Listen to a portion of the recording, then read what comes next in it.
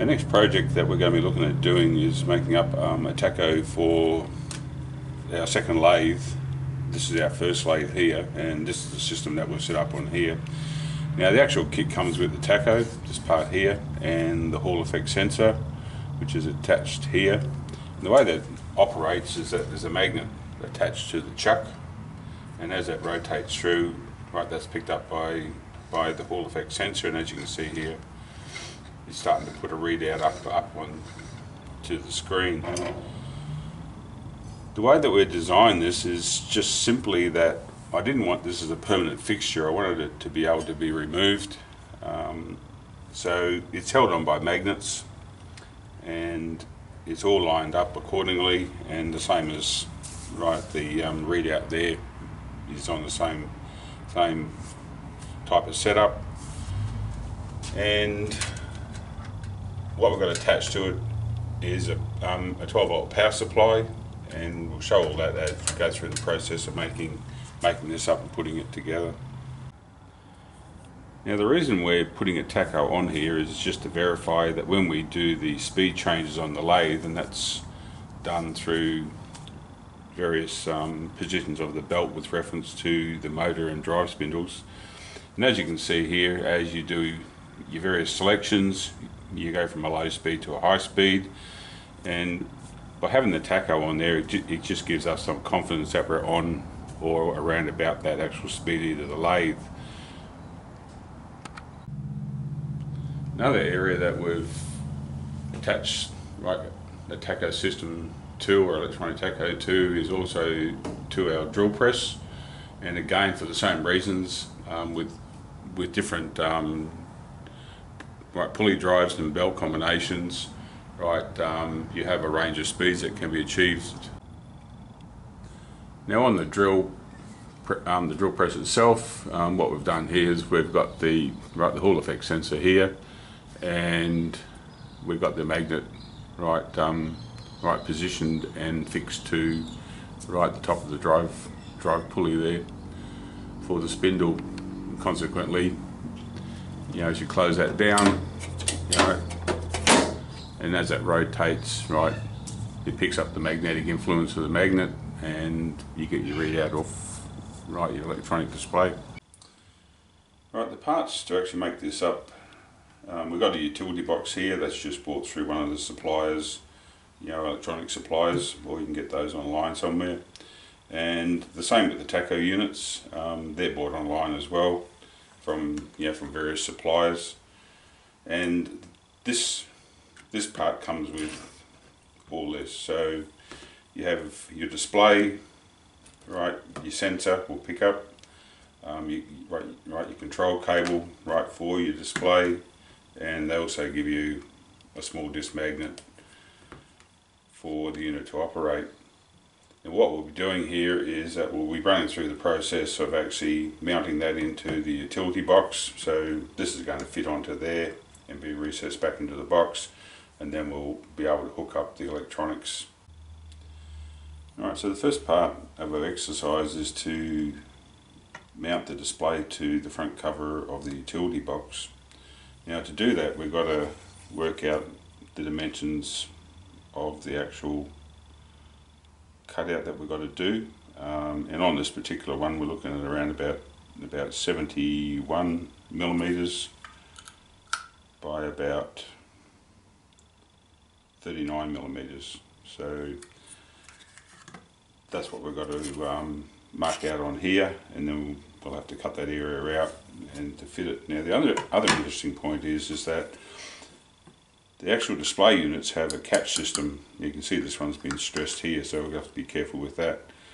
But the, the gap in that, um, in that area is only about one millimetre. So you know the, the width of this ruler is about one millimetre.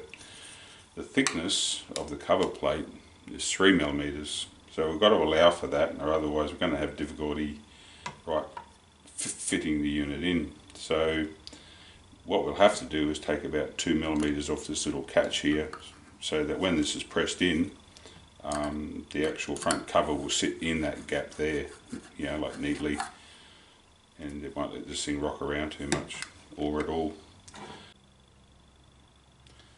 Alright, so our method of marking this out is going to be using you know, a wide strip of masking tape which we've just placed over the area that we'll need to do right the cutout for fitting the display into the right front cover and as you can see here you know we've marked up the area and um, adjusted it accordingly now I've also done a sanity check you know we've placed the display on there just done a check that that we are correct with our measurements.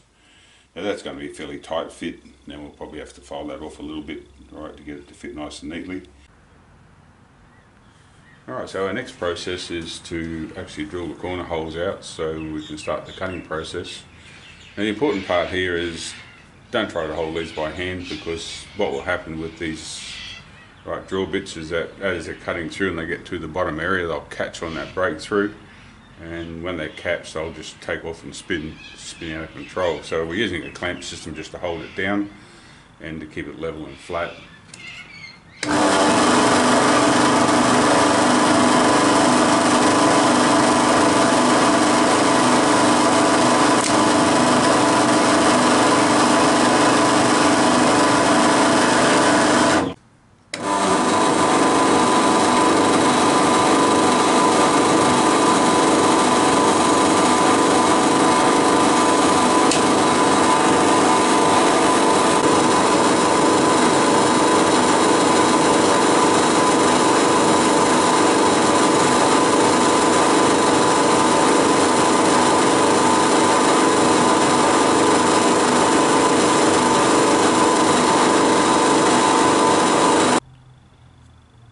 Right, the next part of the process is we've got the four holes drilled and we've got to be able to fit the right tacho display into the top cover. So what we're going to have to do is remove that excess area in the middle here. And the first way we're going to do that is is with our little saw. Now what we're going to do is we're going to undo the saw, take the blade out of its retainer and feed it through the holes and that's why we drill the holes in in the plastic in the first place. So obviously we had to make those holes just big enough to get the saw blade in. And what we'll do now is set that up as such and be able to clamp that down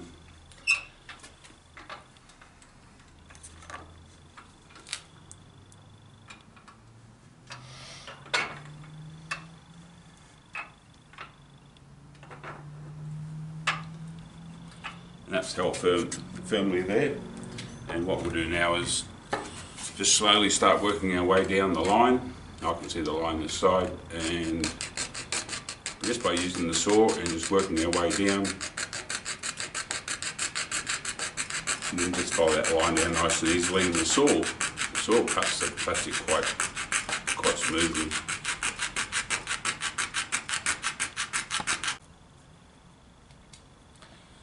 So what we're doing now is we're just going to um, take the saw out.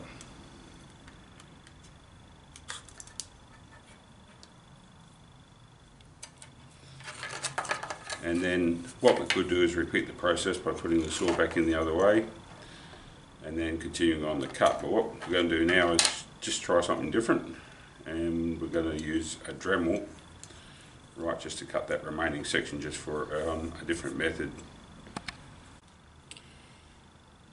Alright, just as a different method, as I mentioned before, we're going to use the Dremel. This has got a, a little cut-off blade on it, and we're not going to rev it right up, because otherwise she just melts through the material more so than cuts. So I'll put a, little, a few revs on, and just following the line,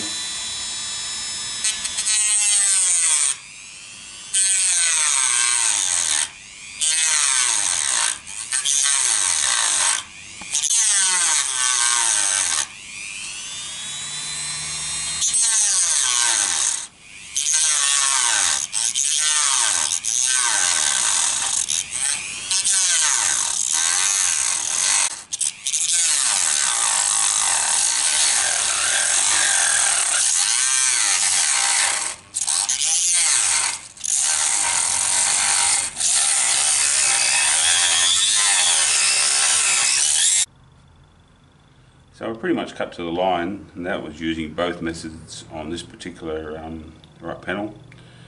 We left a little bit of line, um, most of it's been cut pretty much to the line and what we're going to do now is just to file those corners out.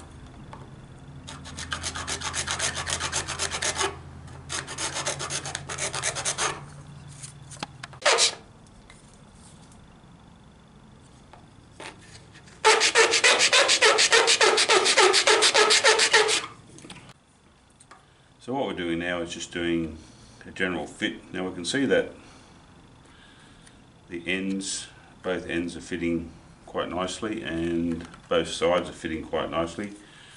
Just a little bit tight in one corner so what we'll do now is just go through and just remove a little bit of excess plastic and that should be about it.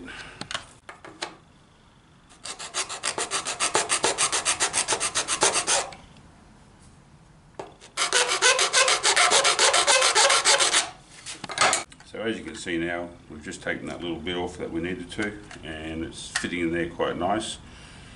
Now the issue we've got now is we've got these retaining lugs that are attached to right the display. So what we have to do now is um, right just mark those out, and we, we've got to cut in about two millimeters on each end. So as you can see here, we've marked the um, two areas here that we need to cut out. The first part we're going to do is just bring the, the little saw in. We're just going to cut down to the line on each on each side of the mark.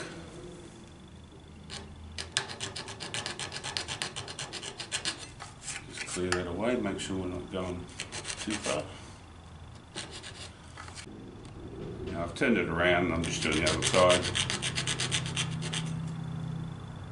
And just taking it down to that line that we marked on there for about two millimeters. Alright, so the setup here, as you can see, is that we just put a protection board under underneath the plastic so it doesn't move around and we're just using one of the larger clamps to hold it all steady. And to get rid of that little notch we have to take out, we're just going to use the chisel and bring it straight down. And just slowly work it through the plastic until it cuts through as such and then come over the other side and just notch that out as well. Now we'll do that on both sides and it gives us a nice clean cut. Now the next part is to be able to fit the display into right the front cover. But the problem we have is this gap here is is too narrow. So you can you should be able to see here some ridges that are on this right retaining tag. And what we're going to do is we're just going to cut that to that second ridge. And we're going to use the Dremel to do that. And we're just going to cut that through.